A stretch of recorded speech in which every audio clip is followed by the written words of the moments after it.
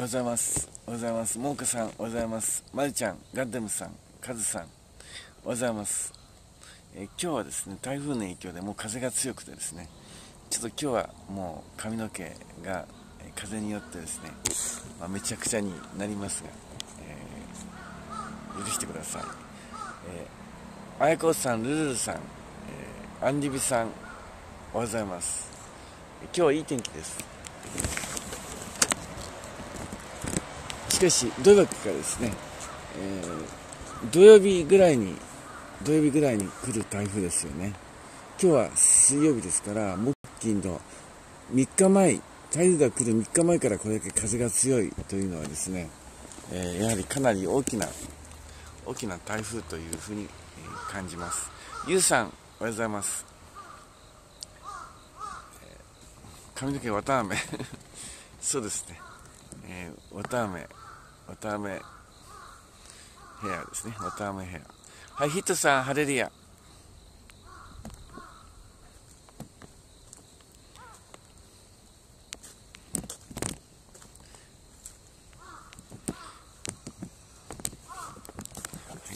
えー、もうここが楽ですから。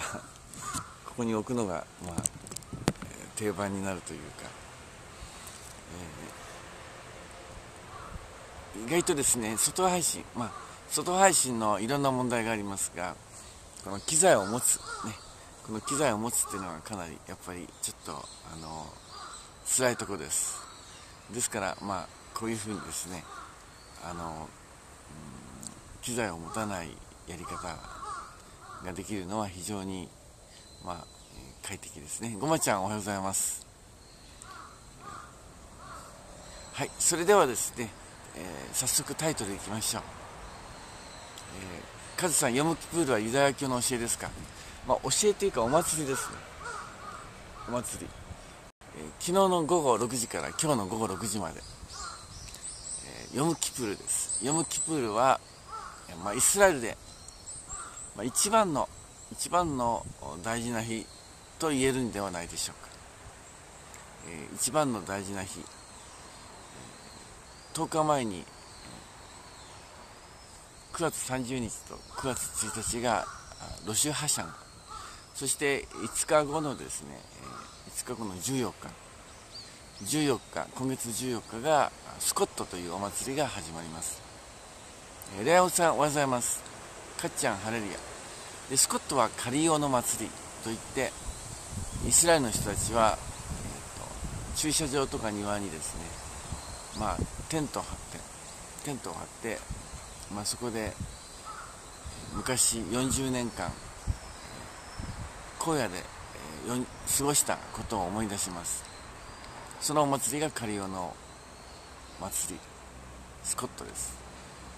そしてロシア派者は新年だということを繰り返し言っていますので皆さんも覚えてくださったと思います。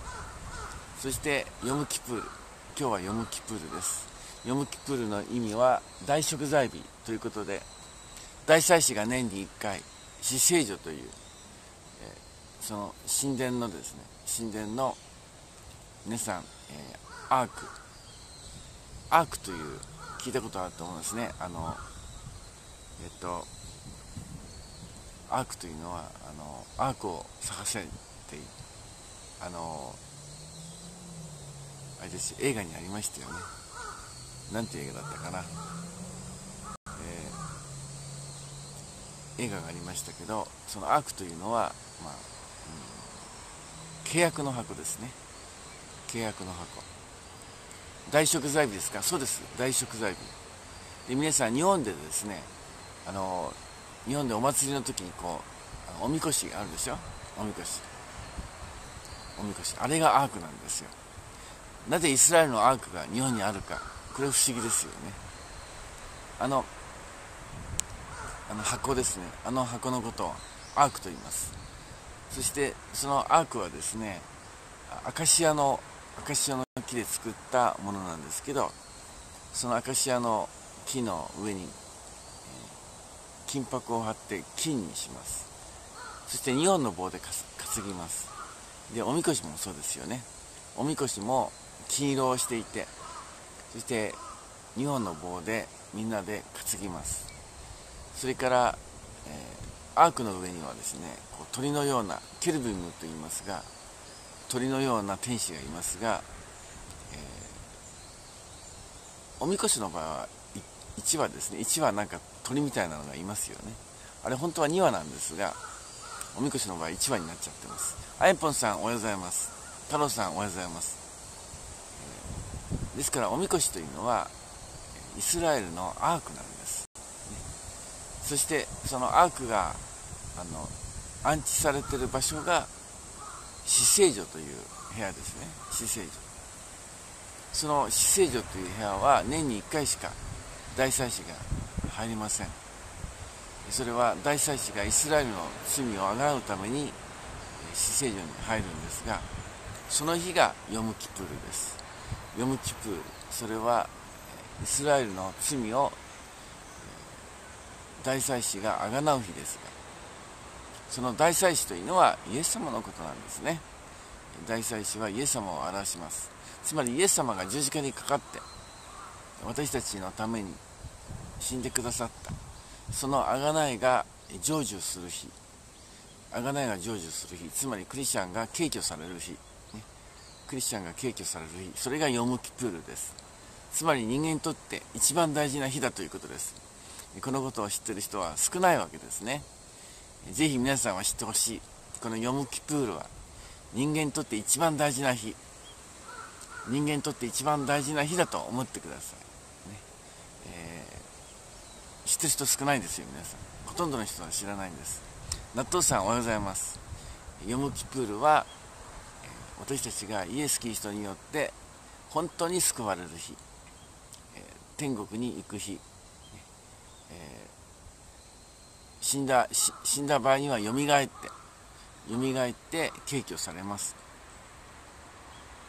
ですからクリスチャンはこのヨムキプール、ね、救いの日と言ったらいいでしょうか。この救いの日敬挙の日この日をことさらに、えー、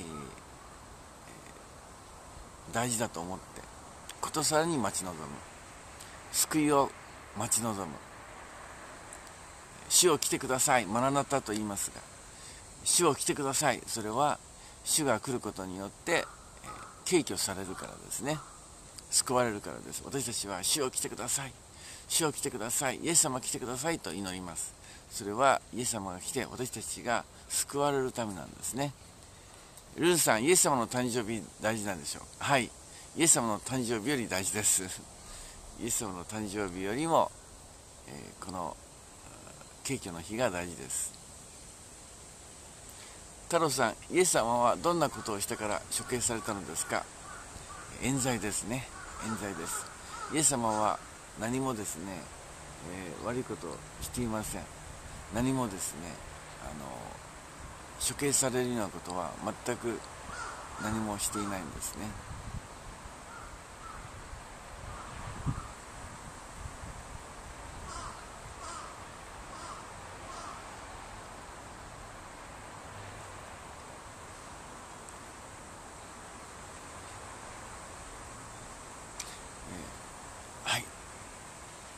ですからぜひ皆さん、えー、私たちは、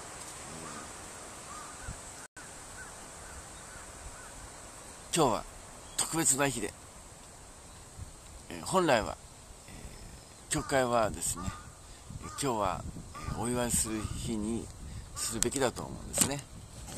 お祝いをする日にするべきだと思いますが多分今日ですねイスラエルではもちろんお祝いしています。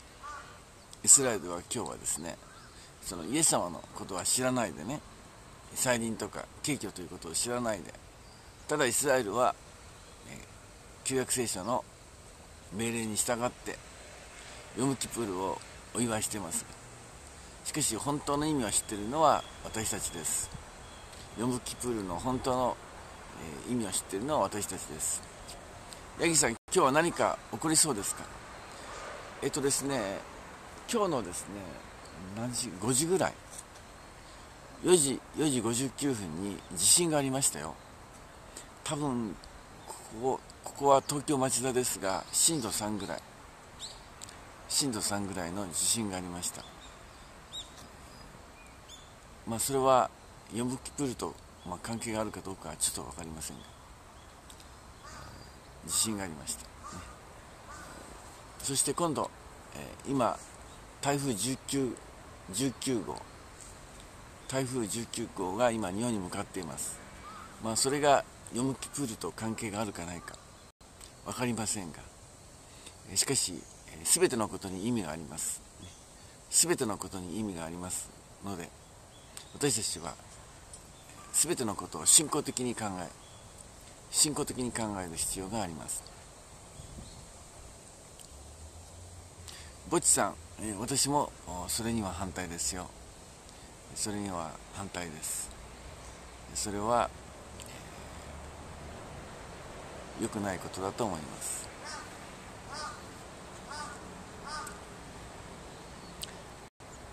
えー、そうですね、えー、メロディーさんおはようございます。アレリア。メロディーさんおはようございます。まあそういうわけで皆さんに、えー、今までもずっとヨムキプールやロシアシャナやスコスコットのこと話してきましたけど、なかなかですね。それが大事だということがなかなか分かりません。ジョーディーさん。ジョーディかジョーディーさんおはようございます。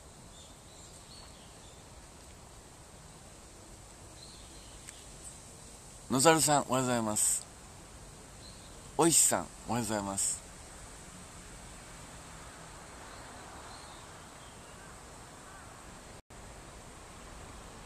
野猿さん、え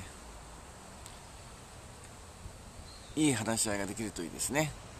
いい話し合いができるといいですね。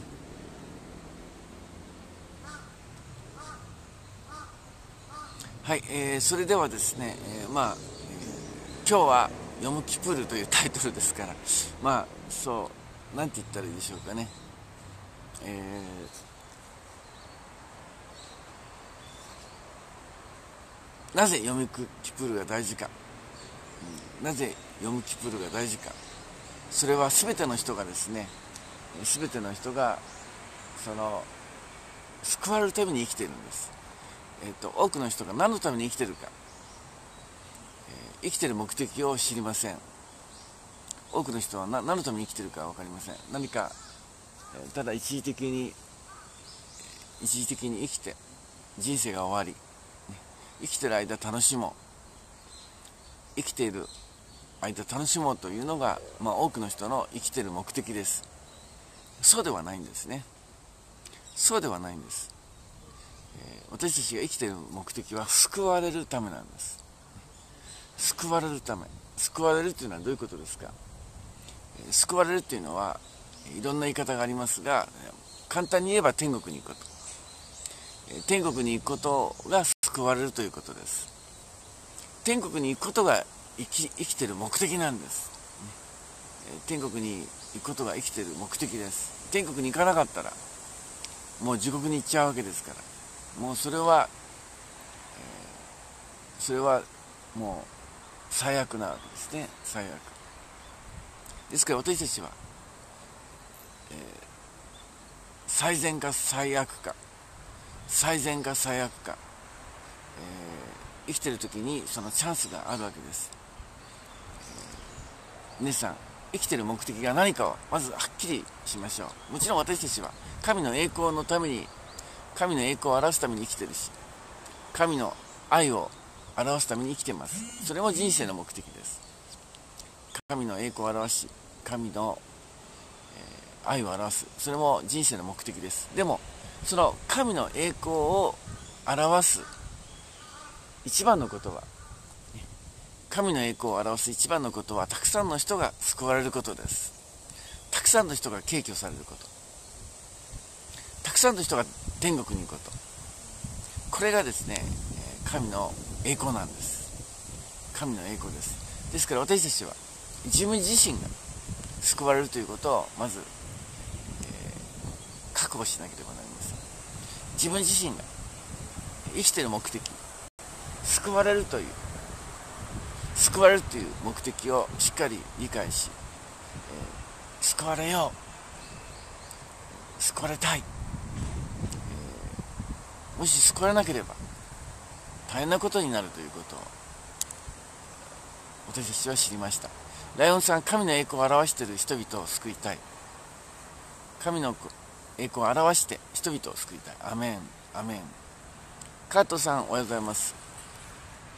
それでですねその救いというのが私たちはイエス様を信じて救われています。しかしその救いの成就、ね、その救いの成就がヨムキプールだということです。ヨムキプールは私たちの信仰の成就。成就っていうのは実際に救われることですね。実際に救われること。この地上から地上から引き上げて天国に行く。地上から救われて天国に行く。これがですね、えー、救いです。救いです。まあそういうわけで皆さんが本当に、えー、大事なことは何なのか人生で大事なことは何なのか何なのかを理解してほしいしそして今日はまさにその天国に行く、えー、ことを表したお祭りだということですね、まあ、実際にですね実際に、えー、その敬挙される時がこのヨムキプールの日かどうかはちょっと分かりません、えー、再臨がですね。ロシア社の時に再臨があるというならばじゃあ敬挙の時は、えー、ヨムキプールの日じゃないかということも、えー、考えられます、えでも分かりませんがそのヨムキプールの日に実際に敬挙されるかどうか。それはま可能性があると。その可能性があるということにとどめて断言しない方がいいと思いますね、えでも、えー、大事なことなんだ。その救いの完成救いの成就。イエス様おっしゃいました。父の御心はイエス・キリストを信じる者が終わりの日に一人一人がよみがえって永遠の命を持つこと。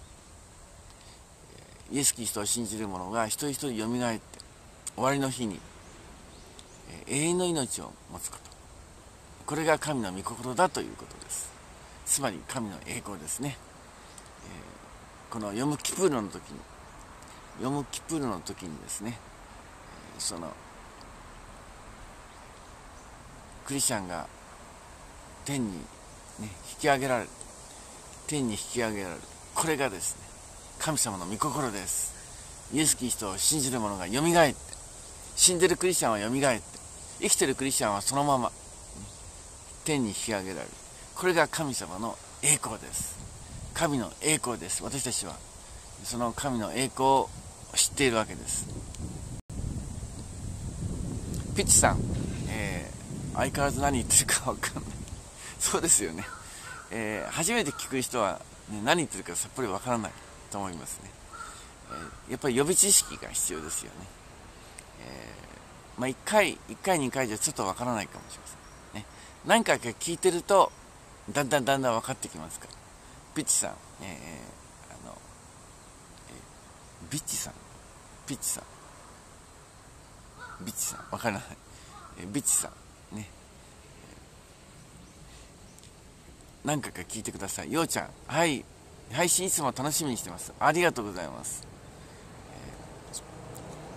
あの比較的ですね継続的に聞いてる方々が多いので嬉しいですねやはりイエス様の話を聞くチャンスってなかなかないです毎日のように放送してる放送もあるかもしれませんがあんまりないと思います。イエス様の話を聞くチャンス。まあ YouTube でですねいろんな、うん礼拝の録画とかメッセージもあるにはあるかもしれません。あシャンさんおはようございます。シャンさん。隣さんおはようございます。風でね風でこうノートパソコンが揺れるんですね。今日は風でノートパソコンが落ちてしまうかもしれませんね。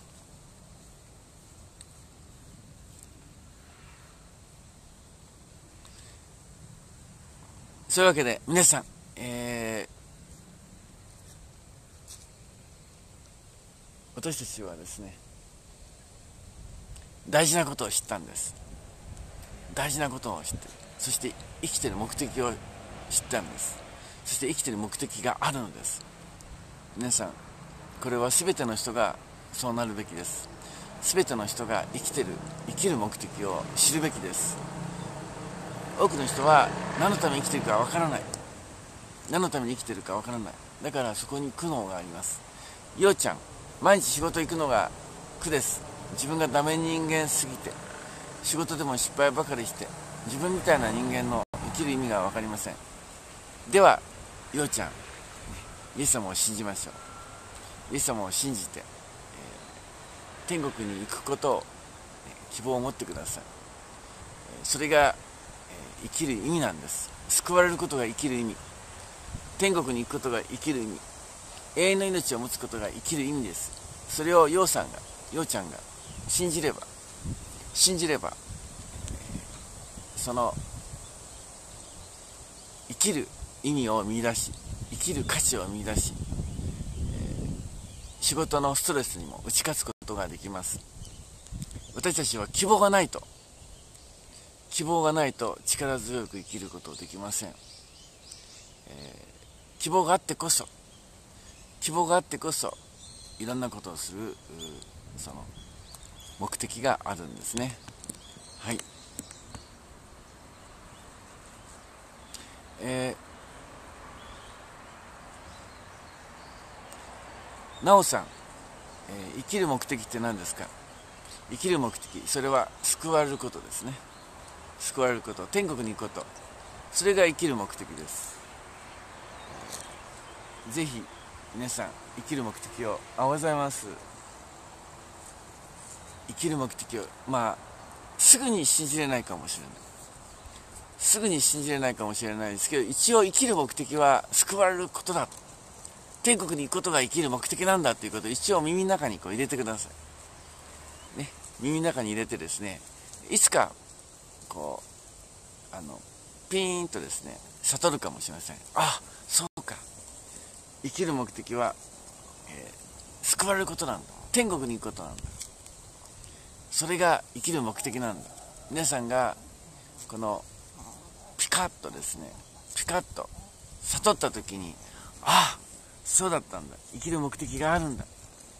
生きる目的があるんだと、えー、生きる力を得るかもしれません。ようちゃんそうなんですね。こんな自分にも生きる意味があるんですね。あるんです。あるんです。全ての人に生きてる人は生きている目的があるんです。死んだ人には生きてる目的はないんです。死んでる人に生きてる目的はありません。もちろん信仰を持って死んだ人は復活しますが生きてる人には生きてる人には生きてる目的があります。それを知らなければ知らないで死んではいけません。生きてる目的を知らないで死なないでください。生きてるならば知ってください。そして、え、その希望を持ってください、えー、隣のガマさん昨日悪霊が出てくる夢を見ました。イエス様に助けてくださいと言いました。大正解ですね。大正解です。イエス様と言えばですね悪霊が出ていきます、ね、イエス様と言ったら金縛りとか悪夢とかそういうですね悪霊が出ていきます。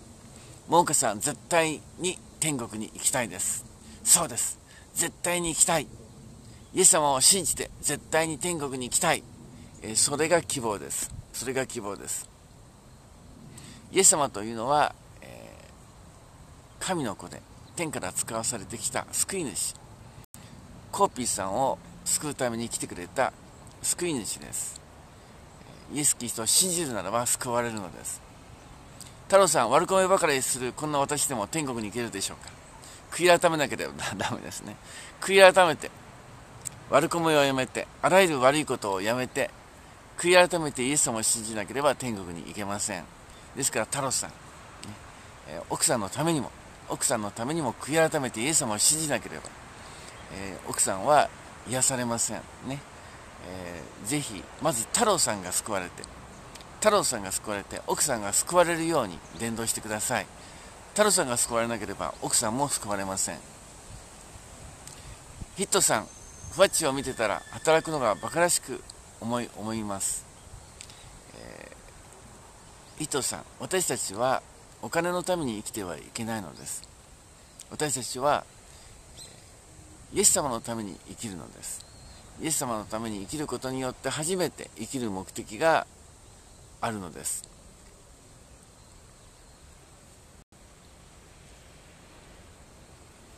えー、カズさん、えー、僕も頑張ります。アメン。えー、僕も頑張ります。ヒットさん、神様のおかげでコーヒーを1日1杯に減らすことができました。私はコーヒーはですね、今はあまり飲んでないですけど、飲むときは1日5、6杯飲みます、ね。多いかな。コーピーさん、神の子は大天使たちではないのですか？天使は天使ですね。神の子は神の子。天使と神の子、えー、似てますけど違うんですね。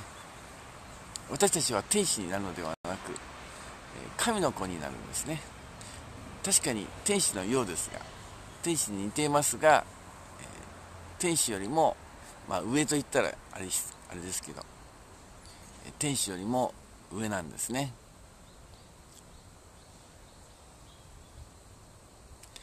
さくらさん、私も天国に行けるかな？行きたいと思ってくださいね。えー、桜さん、ね、天国に行きたいと思ってください。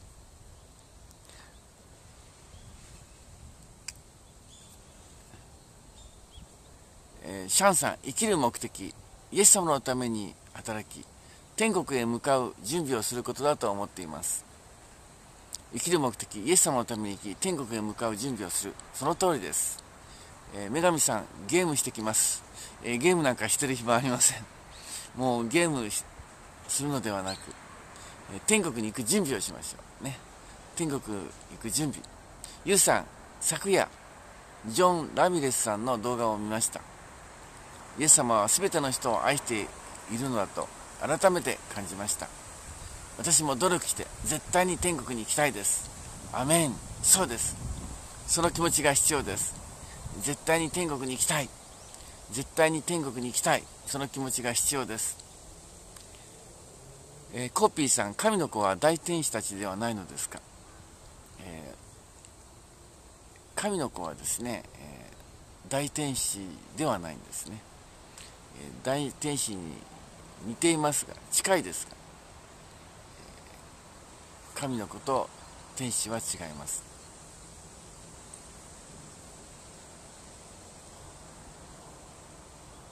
かっちゃん、絶対に天国に行きたいです。絶対に天国に行きたい。コッピーさん、ガブリエルのスノーベイというのはありますか？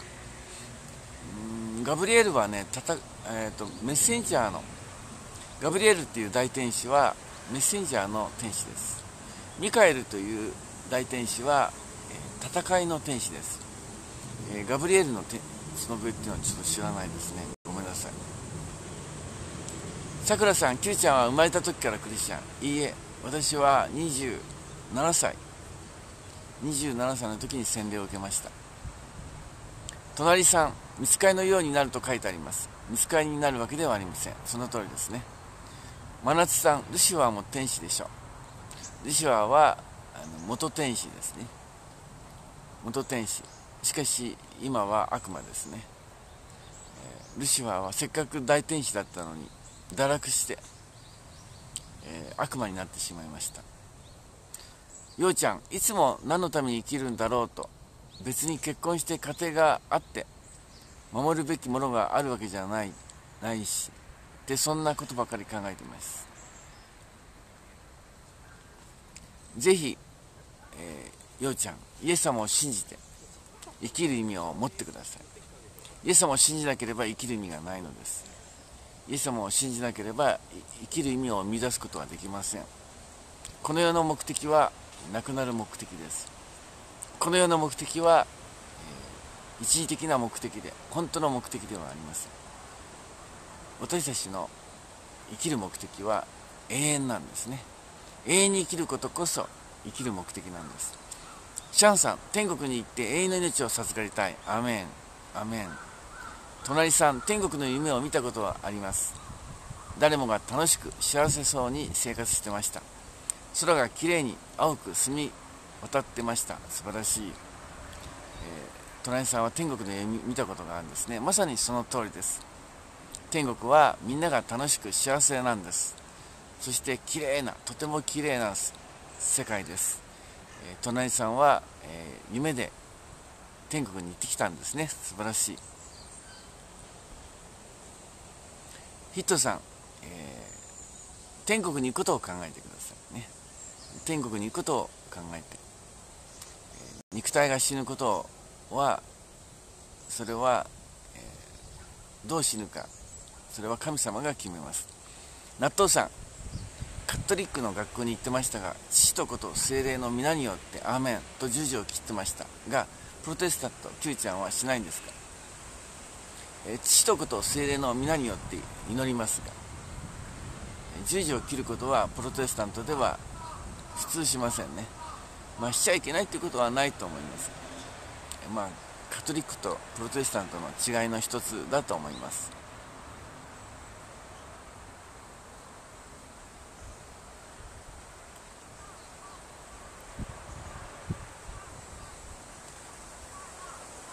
ヒットさん、キリスト教ではまっとうに汗水流して働くことを進めてますか？イエス様のために働くことを進めてますね。お金のためではない。生活のためではない。イエス様のために汗水流して働くことを進めています。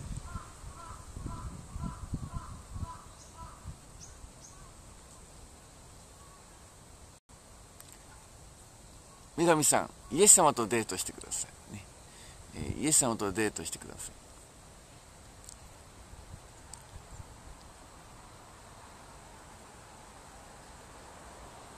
はい、あやこさん、いってらっしゃい。直人さん、悪魔ばかりの世の中だけど、みんな頑張れ。信仰によって頑張ってくださいね。信仰によって頑張ってください。はい。えっと、明石タイム行きましょうか。明石タイムまだやってないですよね。明石タイム。イエス様を信じて、イエス様を信じて生きる意味が分かった証。イエス様を信じて、救われることが希望になった証。敬挙されて天国に行くことが永遠の神の国に行くことが生きる希望になった証生きる、え、喜びになった証スタート。スタート。スタート。コーピーさんイエス様はコーピーさんのために十字架で死んでくれた方です。コーピーさんを救うためにコーピーさんに永遠の命を与えるために死んでくださったんです。ヤギさん、ゲイのままだと天国に行けませんか？ゲイの方でもイエス様を信じれば、イエス様を信じれば天国に行けると思います。隣さん、夢の中でイエス様が聖書を読むようにと言ったことを今でも覚えてます。素晴らしい。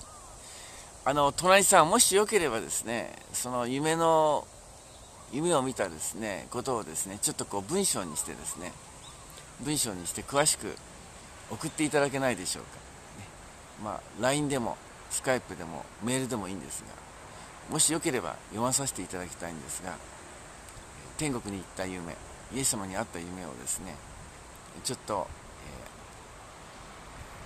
えー、放送で明かししたいのですがいかがでしょうヒットさんますますキリスト教に興味が湧きました。ますますキリスト教に興味が湧きました。素晴らしい。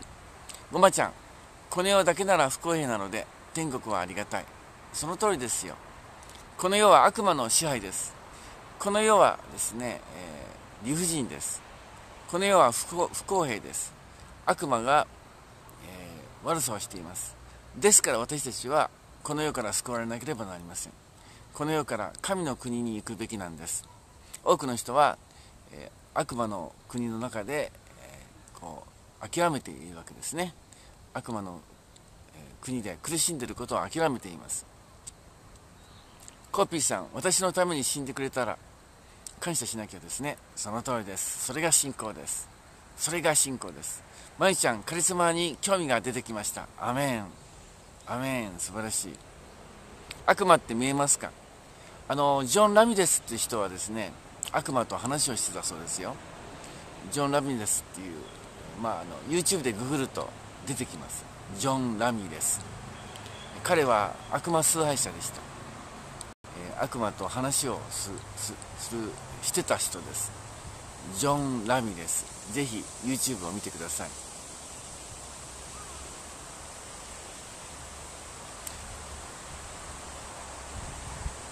えー、オマンさん、えー、キリストが全てだと感じました。キリストが全てだと感じました。アメン。そういうそうです。キリストが全てです。キリストが全てです。隣さんイエス様は私の罪の身代わりになって十字架での御業を達成されました。それを無駄にしたくないと思いました。その通りです。その通りです。牧師も YouTube 見るの、えー、信仰的なものをよく見ますよ。信仰的なものを見ます。ジデロンさん旧牧師が夢にできたら天国に行けるのでしょうか？いいえいいえ。私が夢に出ることが天国に行けるのではありません。ジデロンさんが悔い改めてイエス様を信じるならば悔い改めてイエス様をイエス様に命を捧げるならばジデロンさんは救われます。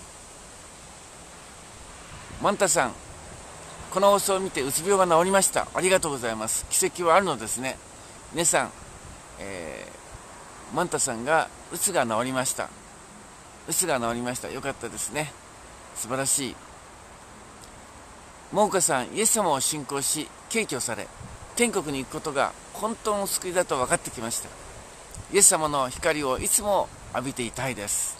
イエス様は命です。アメン。アメン。隣さん。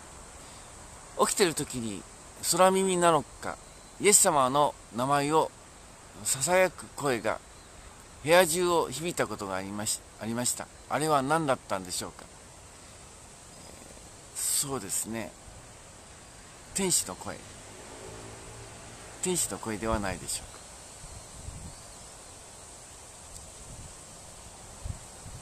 女神さん。牧師と一緒に他人の家に侵入して捕まる夢を見ました。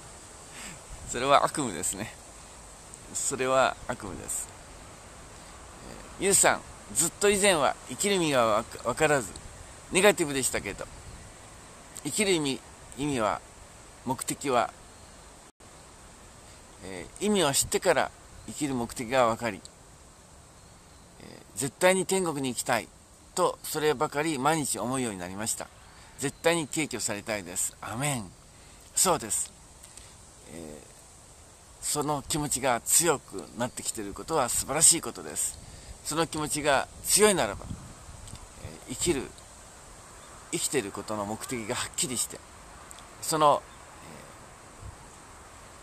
えー、その目的に沿って全てをこう整えて生きることの生きることをそれに向けて天国に行くということのために人生をアレンジしますね。自分の時間自分のエネルギー自分のするべきこと。それをその天国に行くということに合わせられるでしょう。多くの人は欲のために生きています。それは意味がありません。欲のために生きてもそれは人生の、えー、目的に合っていません。しかし天国に行くことは天国に行こうと努力することはそれは生きる目的に合っています。鶏さん主が、えー、私の身代わりとなり十字架にかかり死んで3日目によみがえり私たちの隣におられることを信じます。主に感謝アメン。ごまちゃんいってらっしゃい。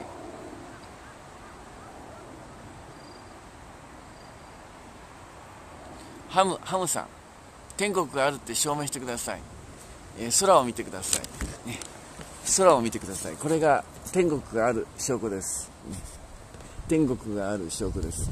なぜなら空は天国を表しています、えー、空は天国を表しています。空を見て、えー、天国を信じてください。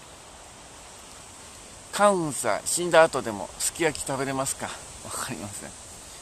わかりません。百太郎さん。はい。おはようございます。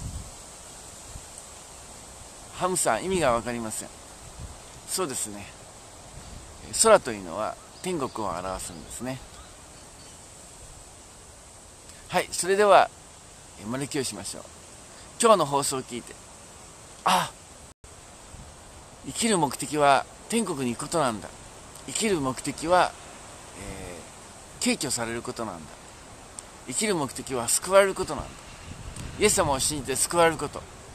イエス様を信じて、えー、天国に行くこと。それが生きる目的なんだ、えー、それが分かった。生きる目的があるんだ。生きることが生きる目的ではなく、えー、天国に行くことが生きる目的なんだ。生きて終わって生きて終わることが生きる目的ではない、えー、終わったら何もなくなってしまう、救われなかったら意味がない。救われなかったら生きる意味がない。救われてこそ。永遠の命を持つことこそ。天国に行くことこそ。生きる目的なんだ。ああ生きる目的が分かった。生きる目的が分かった。イエス様を知ること。イエス様を知ることが救いなんだ。イエス様を知ることが永遠の命なんだ。イエス様を信じてイエス様を信じて救われることイエス様を信じて救われることそれが生きる目的なんだ。生きる目的が分かった。百太郎さんアーメン。生きる目的が分かった。イエス様を信じて救われたい。イエス様を信じて天国に行きたい。罪を悔い改めて悪いことをやめて自分の人生を自分の命をイエス様に捧げたい。自分の人生をイエス様に捧げて天国に行きたい。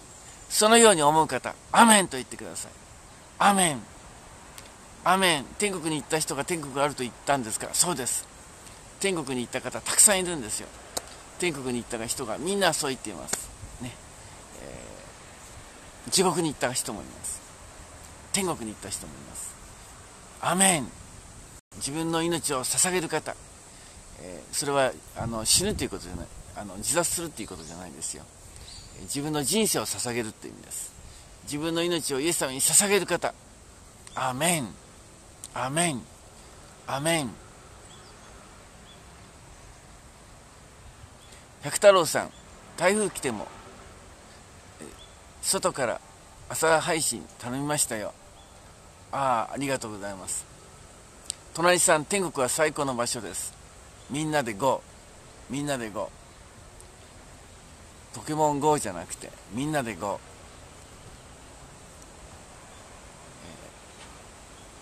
天国 GO 天国 GO ですね。みんなで天国 GO 天のお父様感謝します。以前は生きる目的がなくて苦しくて。毎日が、えー、苦しくて。欲で欲で、現実逃避をしていました。欲を求めて苦しみを苦しみを紛らわしてました。しかし生きる目的が分かりました。生きる目的。それはイエス・キリストを信じて救われること。イエス・キリストを信じて天国に行くこと。それが生きる目的だということが分かりました。イエス様感謝します。生きる目的が分かって感謝します。今日はヨムキプールです、えー、敬虚される日です。どうぞ、えー、今日生きる目的が分かった人はアーメンと言った人は救われますように。イエス様をに人生を捧げ命を捧げて、えー、救われますように。救われますよ、えー、救われないで死ぬのではなく本当に永遠の命を受けるように救われますように。どうぞイエス様、え、今アーメンといった方々が、救われますよ救われますよ救われますよイエス様。どうぞ救われる人を起こしてください。救われる人を起こしてください。そして生きる喜びを持ってものすごい大きな希望ものすごい大きな喜びものすごい、えー、強い心、えー、希望を持つことができますように、いろいろな日々の苦しみ日々の心配を乗り越えて何も心配しないで何も恐れないで力強くイエス様と共に歩むことができますように。どうぞイエス様彼らを祝福してください。彼らと共にいてください。イエス様の皆によってお祈りします。アーメン。アーメン。アーメン。アーメン。はい皆さんよかったですね、えー、ぜひ一緒に歩んでいきましょう。イエス様は近いです。イエス様は近いです。一緒に、イエス様の教えを守って神の愛で歩みましょう。神の愛で歩んで生きる喜び生きる素晴らしさを、味わって歩みましょう。イエス様は素晴らしい方です。それではまた夜7時にお会いしましょう。ありがとうございました。良い一日を。シャローム。シャローム。良い一日を。シャローム。シャローム。